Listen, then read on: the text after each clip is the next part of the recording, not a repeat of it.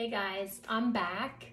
Uh, last week we read Twinkle Twinkle Little Star, so I told you that we would be doing a star craft. So we're gonna make it really, really easy. And you only need three things, and there is a fourth if you want. So let's talk about what we need. So first, we're going to need some cardboard.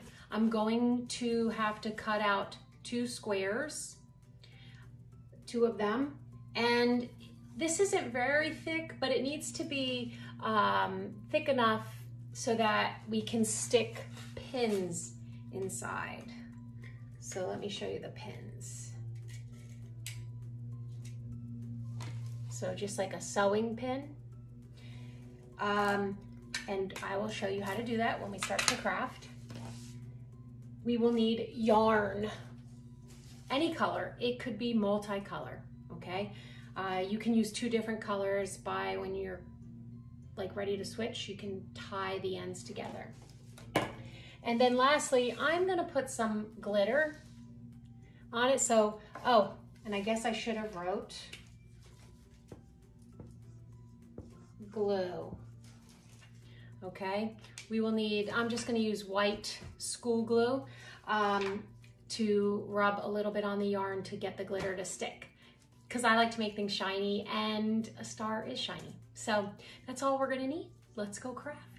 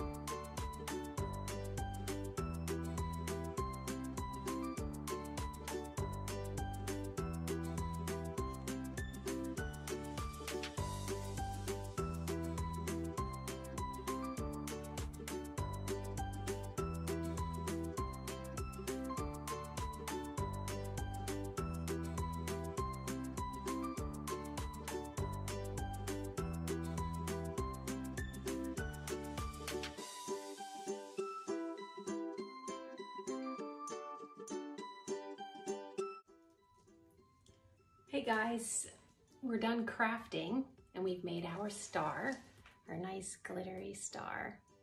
Um, you know, anytime you use glitter, it makes a big mess, so be careful.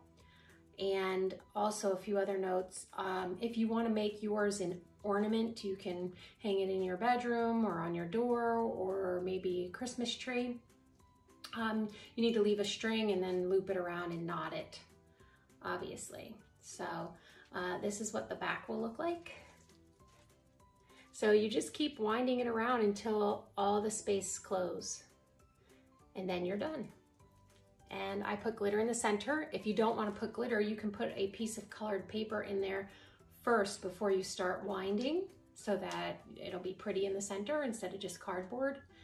But um, I hope you enjoyed making your star this week. So come back next weekend and we'll read another book, all right? Have a great week.